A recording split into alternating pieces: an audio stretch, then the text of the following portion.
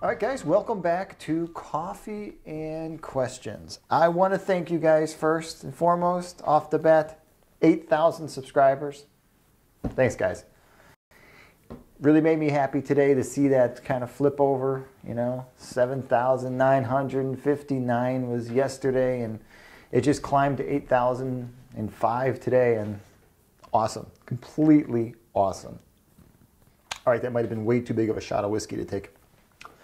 All right, so let's get to some questions. So my first question here comes from a guy named Waylon. I'm going to paraphrase the email because it was actually a long email and we went back and forth. But Waylon, he started the job three years ago working for a flooring company that actually um, distributes flooring. So hardwood floors, laminate floors, rugs, pads, all that stuff. Really big place from how he describes it. Uh, 30 employees, plus himself, plus a whole office crew, sales crew, all that stuff. So over the three years, he has become the head of safety for the plant. Let's just call it a plant. And just this year, after he's taken this job, because this job was created because of OSHA coming in and saying with this many employees, everybody has to wear safety shoes, and because of the going up and down in the forklift, everybody has to wear fall protection and everybody has to have on a safety vest. So to sum up his email, what he basically was asking me is now that they're giving the guys safety shoes and they're giving the guys the safety vests and all this stuff, nobody wants to use it. Nobody wears it. He's on top of his guys all the time in order to put on their safety shoes and wear their safety vests. They all have lockers. They can leave their shoes, as he says in, in the email. So he just asked my advice on the whole deal. And how to get the guys to buy the safety shoes. They had a shoe truck come out the first time. One of the big names came out there for his city, sold all the guys' shoes, and nobody wore them the next day. Everybody claimed they were uncomfortable and whatnot.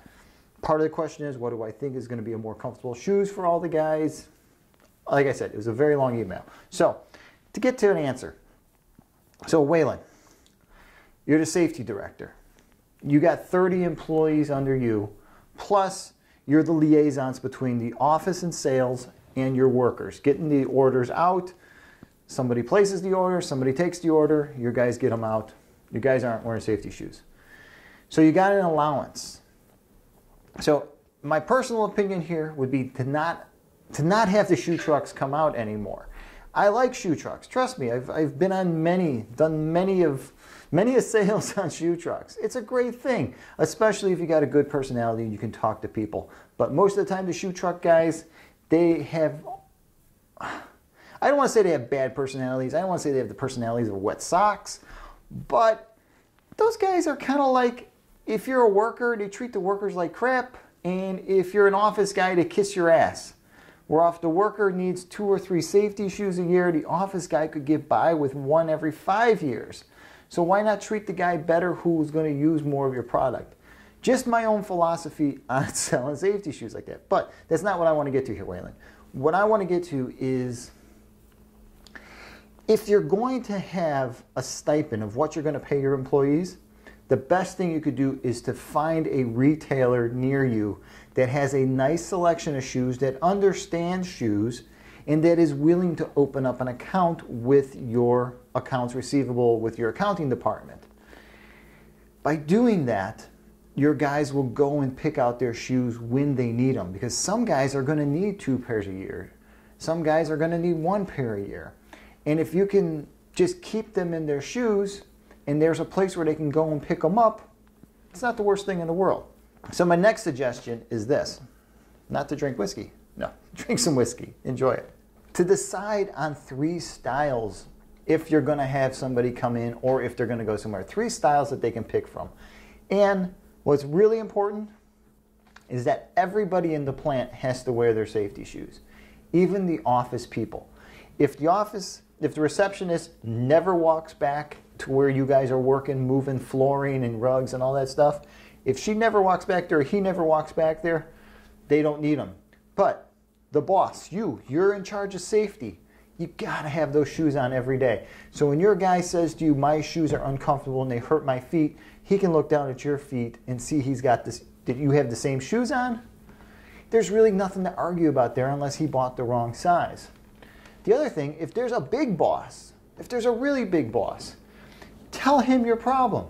Talk to him. See if he's willing to wear the safety shoes around the plant too. If he's willing to do it and the workers see that the big guy is wearing the shoes, then there should really be no problems. When it comes to safety vests and fall protection, if the guys are supposed to wear the fall protection and it's just not there on the forklift, like most of the time there sh it should be on your your scissor lift or whatever you're using to get up to the upper shelves, you should have the fall protection there. It should be one unit on there. Not every guy needs his own. If I'm not mistaken, that's kind of how the whole OSHA thing works on the machines. I could be completely wrong on that that's something I really don't know much about when it comes to how OSHA works around equipment as much as does just the shoes and whatnot. But just make sure it's always there. Safety vests, instead of giving the guy one vest, give the guy two vests. Make sure there's always one around and maybe just keep a few extras at your desk so that when you see a guy without one, throw him a vest, say, get your vest on. Or if the guy forgets his vest, instead of allowing him to wear lime green or orange, make him wear a pink vest most guys don't forget of their vest when you make them wear a pink vest. I've seen it in a few plants before where the safety directors have done it, and it really just snipped that right in the ass. So, Waylon, I hope some of these suggestions help out. Um, thank you for subscribing. Thank you for the email, and thank you for spreading the word to your workers on, you know, what safety shoes are good and what not. That really helps out. I can see that, you know, I mean, thanks. You know, it really helps out. Okay, it was all emails. I'm reading everything from emails, no comments from the YouTube channel this time, just emails because both of these emails were pretty good. All right, so the next one. I just had it. There it is. Okay, Chris from Michigan asks debate between him and his friends 600, and, 600 grams of insulation, 1200 grams of insulation. Upper Michigan. Which one's going to be better? Okay, well, guys, uh, all depends on what the weather is. Remember, my whole thing about insulation is not so much in the boot unless you're standing on ice for hours on end. Ice fishing, yes. You want 1,200 grams of insulation. You want to be a full inch above the ice. You want wool socks You want lots of scotch or whiskey. You want a fire. You want to have just these amenities that are going to make the whole ice fishing experience fun. Working out on ice, moving around, not sitting there watching a hole, moving around, 600 grams, a nice felt insole, and some socks, in my opinion. Some really good wool socks and liners. You should be good if you're moving around. If you have to sit still, if you're in a stationary position for longer than three hours, in below freezing temperatures, then yes, a thousand grams, 1200 grams. I've seen some stuff out there just recently by one of the outdoor companies. They're doing 2,200 grams of insulation inside a boot. Yeah. Uh, where are you going with that thing? The other thing you asked in your email was Pack boots, what do I think of them? Okay, so what do I think of pack boots? So the insulation questions answered 600 grams wool socks, liners, wool felt insoles. You can get them from Servus, you can get them from Lacrosse, you can get them from numerous numbers of companies. If you're interested in wool felt liners, you've never heard of them before, shoot me over an email. I'll send you a couple links so you can see what I'm talking about. Pack boots. Pack boots. I love them. You love them. Sorel. Come on. Known forever. Sorel has been like the quintessential pack boot out there for working sports, uh, shoreline fishing when it's cold up in Canada. Sorel boots, they have always been the top of the line. Sorel, yes, plummeted. Their quality, what they're about is just, it's crap. It's just for girls. It's for girls that go from their Land Rover to the Apple store. Guess who wears Sorel today? It's not really built for us anymore. It's not built for outdoors guys. It's not built for working guys. It's just, it's crap. But companies like Terra, Servus, um, let's see, who's the other one? You got Terra, you got Servus, you got Muck boots, which are pretty much just like pack boots without the liner. Um, oh my God, what the hell is that company's name? I can't believe I'm doing this. I got a brain fart. Uh, oh, Baffin from Canada. Baffin's another one. Really good extreme work boots that can, you know, really insulate your foot. So pack boots are great. The, the thing with pack boots is you're going to get warm. You're going to sweat. And at the end of your day, or in the middle of the day, if you're fortunate enough, if you're smart enough to pick up a second set of liners, to pull out your wet liners and put dry liners in and then get you through the rest of the day. Say like six hours in those things, and you got to pull another six hour shift. You guys that got to plow, you guys that are out there uh, doing snow removal, having that dry insert to put back in your pack boots makes all the difference. Dry socks makes all the difference. When you're sweaty and you're cold, forget about it. You're done for. So if you can change out, if you can get your socks changed, get those liners changed, pack boots are really great. Pack boots are not all that great for heavy duty work. A really good strong insulated boot with a really good shank, even though a lot of pack boots come with steel shanks, but like a quarry with uh, 600 grams of insulation or like a boon a boondock from Timberland Pro with the 1000 grams. So you've got a good digging sole, you got a good heavy duty leather, you got some rubber on the toe, you got a good insulated waterproof boot there that is kind of like a mimic of a pack boot. But pack boots do have their place. Snow removal, great place. So, Chris, Michigan, pack boots, excellent. I like them. If you guys are still arguing about it, I'm sorry. I like pack boots. Um, insulation, 600 grams, in my opinion, is plenty of insulation. All right, so that's two questions. I ran a little long on them. I understand, but they are pretty in-depth questions. Uh, let's get to this merchandise that I got here. So I've got couple of new boots here. First thing, Kodiak. Kodiak footwear. Kind of uh, fashion dress. Not heritage, not uh, cheap, I don't know, uh, cheap Timberland. You know how you see the, the street guys wearing Timberland, but just a really nice looking casual dress boot insulated, waterproof. It's, it's a dress boot. It's a going out in the middle of winter boot with something that's not a work boot.